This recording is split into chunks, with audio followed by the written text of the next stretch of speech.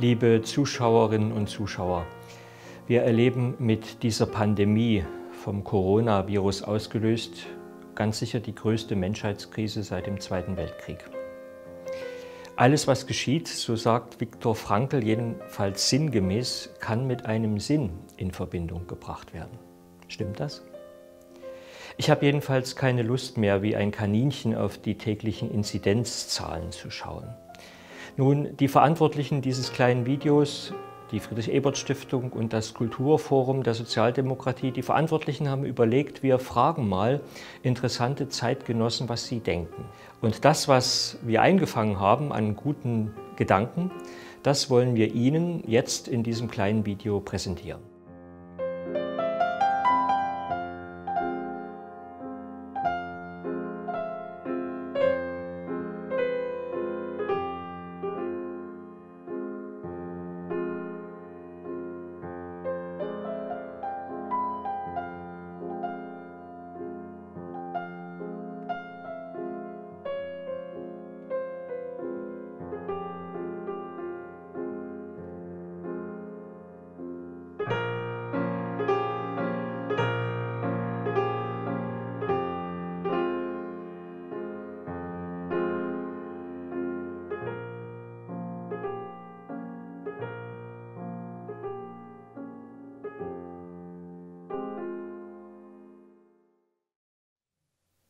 Vielleicht geht es Ihnen ja so wie mir. Die Gesellschaft ist zurzeit noch vielfältiger, noch unterschiedlicher als ohnehin schon. Die Krise erlebt jeder auf eine ganz andere Art und Weise, aber es ist wichtig, dass wir uns gegenseitig verstehen, dass wir in der Lage sind, mal die Perspektive des anderen einzunehmen. Deswegen haben wir unsere Protagonisten, äh, unsere Gäste als erstes gefragt, wie erleben Sie ganz konkret die Gesellschaft? Sie ist ja jetzt in eine ganz besondere Situation gestellt. Und das ruft vieles hervor. Äh, und vor allem vieles Extreme, weil die Situation auch extrem ist, äh, weil das Leben einfach nicht so weitergeht, gehen kann im Augenblick, wie wie wir es alle gewöhnt sind. Und äh, dadurch äh, sind die Menschen äh, aus der Bahn geworfen und in ganz unterschiedlicher Weise. Also man findet jetzt ganz viel Mitgefühl, man findet Menschen, die über ihre eigenen Kräfte sich engagieren, weil sie, weil sie spüren, ich kann den anderen doch nicht hängen lassen. Ich bringe das nicht fertig. Und, und an anderer Stelle spürten, wo ist mir egal. Also nicht, äh, nicht, nicht wie America First, sondern unseres First. Also uns meine, was weiß ich, äh, wo die Egoismen eben einfach äh, äh, stark zunehmen. Und es entstehen sehr viele Feindbilder. Und es, die, die Konfrontation in der Gesellschaft ist anzusehen, ist ziemlich furchtbar. Wir erleben eine ökologische Krise als Reaktion der Natur auf unsere westliche Lebenswelt. Die Pandemie ist eine von vielen Indizien der Evolution, die sich auf einen Umbruch hin bewegt. Wenn wir als vernunftbegabte Wesen nicht irgendwann reagieren, Klimaveränderungen, Vernichtung der Artenvielfalt, Zunahme von Seuchen und Giftstoffen in der Umwelt, soziale Polarisierung erzeugen elementare Gleichgewichtsstörung. Die Pandemie verortet nun diese Krisen in unserer individuellen kulturellen Welt. Selbst der Primat der Ökonomie wird kurzzeitig außer Kraft gesetzt, weil man mit der kapitalistischen Gewinnmaximierung die Krise nicht meistern kann. Lernen wir etwas daraus vielleicht für spätere nachhaltige Formen unseres Wirtschaftens? Wir erleben eine eigentümlich gespaltene Gesellschaft. Auf der einen Seite viel vernünftiges Verhalten, viel Solidarität, viel Einsicht in das, was notwendig ist, auch wenn es weh tut sich hineingeben ins, in, ins Geschick, dass äh, um der Solidarität mit den anderen willen ich mich selber einschränken muss. Aber auf der anderen Seite gibt es eben eine Menge Leute, die sich nicht daran halten wollen, die schlicht bestreiten, dass es so etwas wie Corona-Pandemie gibt, ein gefährliches Virus, die auf äh, ihre Vergnügungssucht bestehen, die an alle möglichen Verschwörungsmythen glauben. Das ist eine durchaus gefährliche Spaltung in der Gesellschaft, weil sie die Konflikte verschärft? In dem Bereich, äh, in dem ich zu Hause bin, das ist hier quasi hinter mir auf dem Campusforum Tumanum. Ich unterrichte Schülerinnen und Schüler in evangelischer Religion. Ähm, da ist zurzeit äh, nur für einige Klassen wieder normaler Unterricht, 11., 12. Klasse. Die Grundschüler sind wieder da, die Kita-Kinder sind wieder da. Fünfte bis zehnte Klasse wird noch zu Hause unterrichtet und lernt zu Hause. Und ja, da sehe ich äh, das Problem ganz besonders. Also da stelle ich mir auch die Fragen, was wird mit den Kindern, wie werden wir sie begleiten, mit welchen Erfahrungen werden sie aus dieser Zeit gehen, wie werden sie mit diesen Erlebnissen später einmal umgehen. Ich erlebe in dieser Zeit, dass Ungewissheit etwas ist, was eigentlich alles durchdringt. Und ich merke, dass es ein großer Luxus ist, wenn man planen kann oder planen konnte. Wir leben ja in einer Gesellschaft, in der die nähere Zukunft wenigstens immer in gewisser Weise planbar war. Die Rahmenbedingungen ähnelten einander. Das ist jetzt ganz anders. Und das ist anstrengend, so eine Ungewissheit, äh, mit der von Tag zu Tag zu leben, dass man nicht weiß, was wird in zwei Wochen sein, was wird in vier Wochen sein. Zu den Eigenheiten der Corona-Krise gehört die Unsichtbarkeit. Wir sehen das Virus nicht, jedenfalls die allermeisten von uns haben es noch niemals unter dem Mikroskop gesehen. Und wir sehen meistens zumindest auch nicht das Sterben das Sterben in den Krankenhäusern, das Sterben auf den Hospizstationen. Unsichtbares Leid prägt uns und gleichermaßen auch das Leid, äh, das darüber hinausgeht. Viele Existenzen sind gefährdet. Viele Menschen wissen noch gar nicht, wie es weitergehen wird. Wir müssen weiter denken, auch über das Ende des Virus hinaus. Und darauf richtete sich die zweite Frage, die wir unseren Gästen gestellt haben. Wir erfahren, wie verletzlich, wie verwundbar nicht nur der einzelne Mensch ist, sondern unsere Gesellschaft insgesamt, unsere globalisierte Zivilisation. Äh, wir erfahren etwas, was, was, was wir gar nicht mehr wussten, nämlich dass es so etwas gibt wie Wehrlosigkeiten. Und das tut weh und äh, manche bestreiten das schlicht und äh, andere sagen, wir müssen damit umzugehen lernen. Und äh, daraus folgert, wir erfahren etwas, was, was äh, stärker ist, als es vorher da war, nämlich die tiefe Solidaritätsbedürftigkeit des Einzelnen wie der Gesellschaft insgesamt. Auch äh, die Staatsbedürftigkeit, der Ruf nach dem Sozialstaat ist so laut wie nie zuvor. Alle wollen, wollen etwas vom Staat, Geld und Unterstützung und Begleitung. Ich äh, befürchte, dass einige Kultureinrichtungen und Vereine die Krise nicht oder nur mit Ach und Krach überstehen werden. Und ich sehe auch, dass Kulturschaffende sich in einem artfremden Bereich Lohnerwerb suchen, weil der Gang zum Hartz IV immer noch ein demütigender Gang ist. Die Pandemie bringt eigentlich alle äh, Probleme äh, zur Kenntlichkeit. Sie macht sie größer, im Guten wie im, im Schlechten. Also was unsere Gesellschaft an guten Dingen hat, wie auch an schlechten Dingen, wird einfach größer. Und man merkt das, ob das bei der sozialen Gerechtigkeit äh, ist, ob das, äh, also hat jemand eine große Wohnung, hat jemand eine kleine Wohnung, wie ist es mit dem Transportwesen, äh, woher kommen unsere Lebensmittel, wie sind die Lieferketten. Das wird alles in einer sehr starken Weise äh, vergrößert und ich hoffe, dass wir daraus etwas lernen können. Wir erleiden alle unter Einschränkungen. Wir erleiden unter äh, Kontaktmangel, die in der Gesellschaft da sind.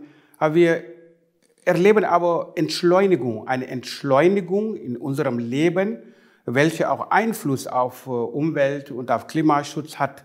Und äh, ich denke, dass äh, diese Corona zeigt auch, dass die Ungleichheit äh, in der Gesellschaft deutlicher geworden ist. Familien, Kinder sind unter extremer Belastung gestellt. Fünfte bis zehnte Klasse wird zu Hause unterrichtet, muss zu Hause lernen. Und da frage ich mich, was macht das mit den Kindern und Jugendlichen, die Erfahrungen und die Erinnerungen, die Sie jetzt in dieser Zeit sammeln, wie werden Sie in Zukunft damit umgehen? Wie werden Sie mit den Belastungen umgehen, die Sie jetzt erlebt haben? Ich denke, diesen Fragen werden wir uns stellen müssen.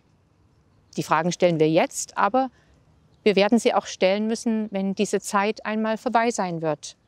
Wird es Zeit geben, über die Abschiede zu sprechen, die Verwandten, die an Corona gestorben sind, wo es vielleicht nicht genügend Raum und Ruhe gab, sich zu verabschieden.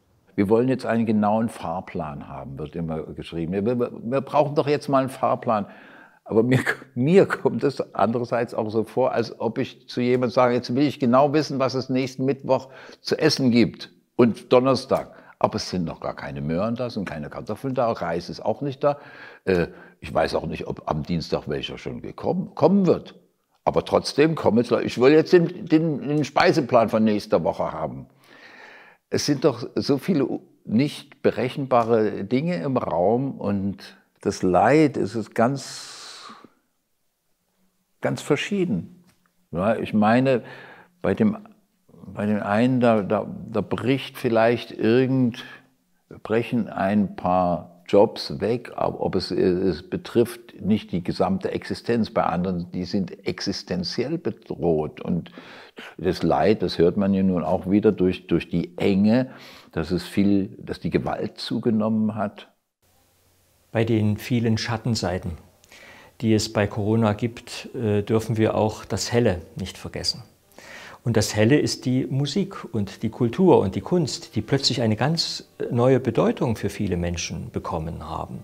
Wir hören jetzt ein bisschen Hausmusik, die vielleicht gar nicht gespielt worden wäre, wenn es Corona nicht gäbe.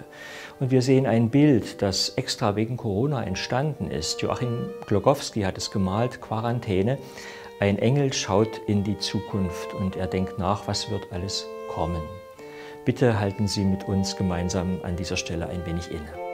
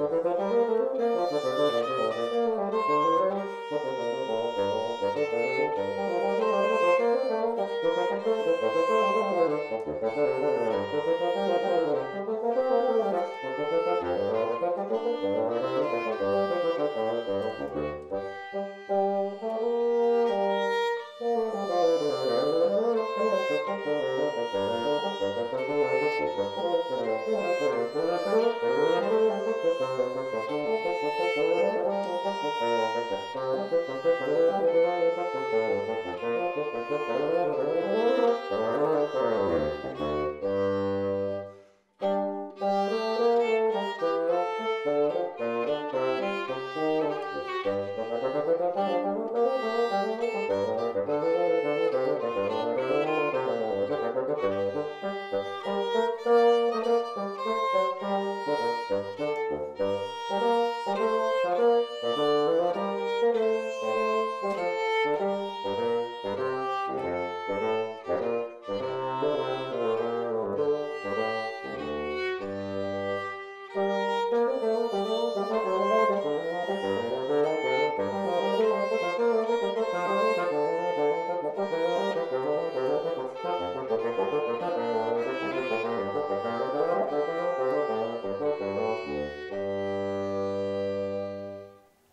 Es klingt banal, aber es ist richtig.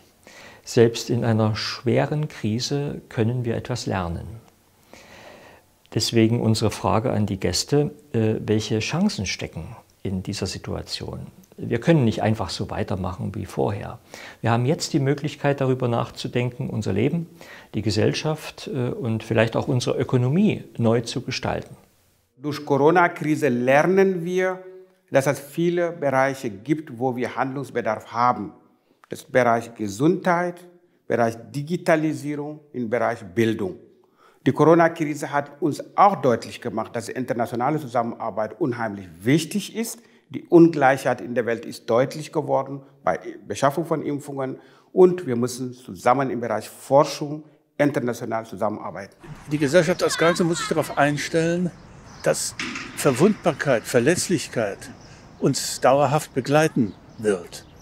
Und ich habe noch einmal gelernt, wie wichtig auch übrigens Familie ist.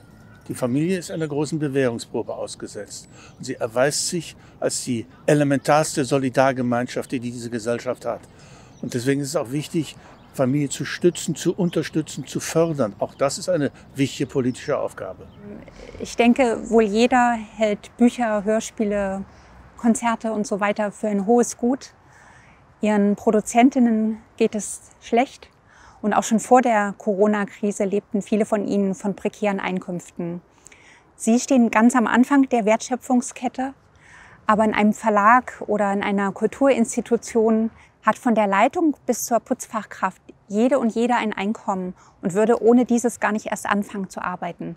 Kulturschaffende in all ihrer Leidenschaft für ihr Tun arbeiten zu oft für Almosen. Wenn wir als Kulturland dieses identifikatorische Moment Kultur beibehalten wollen, dann müssen nun endlich diejenigen zu einer Stimme kommen, denen wir all die anregenden, subtilen, leisen, verstörenden, schrillen oder auch glückseligen Momente verdanken.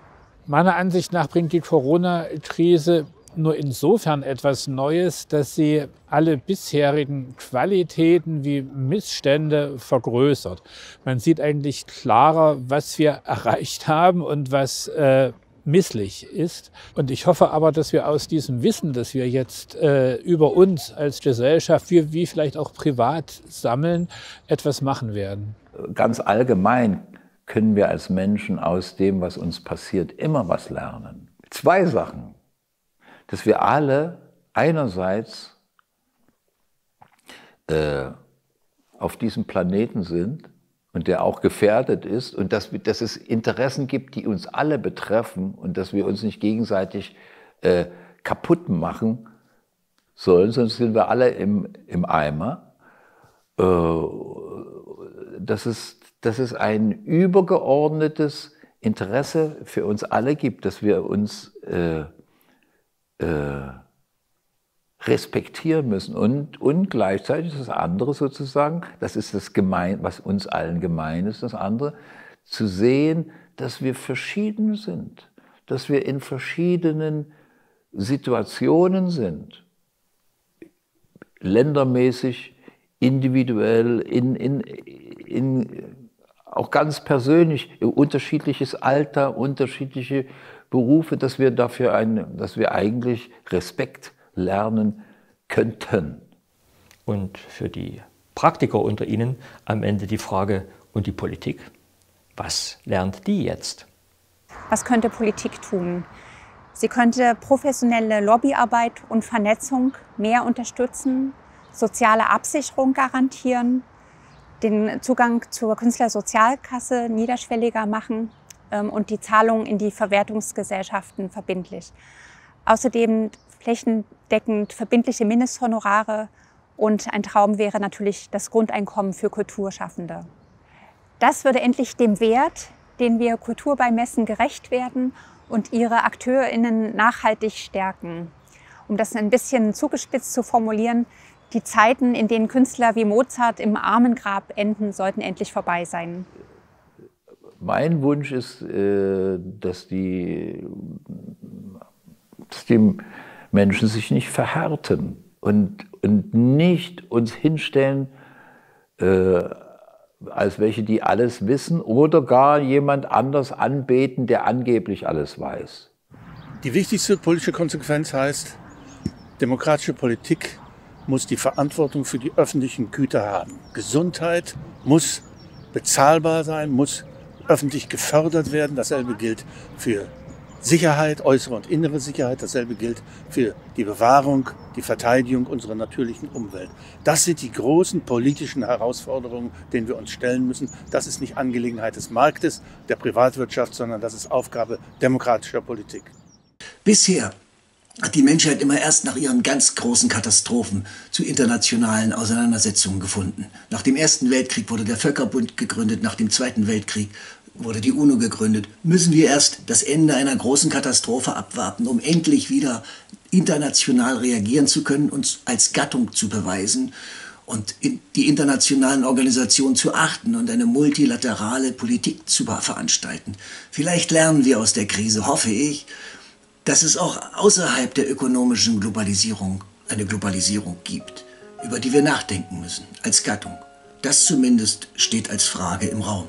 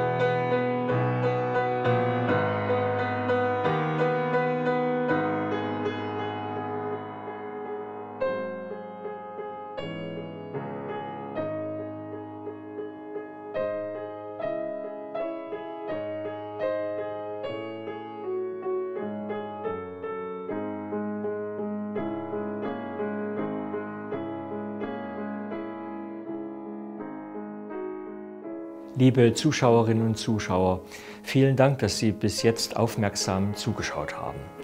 Die Initiatoren, das waren die Friedrich-Ebert-Stiftung und das Kulturforum der Sozialdemokratie.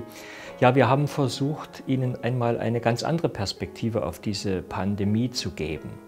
Und wir wären sehr dankbar dafür, wenn Sie uns Ihre Gedanken schreiben zu diesem spannenden und bewegenden Thema Mensch Corona.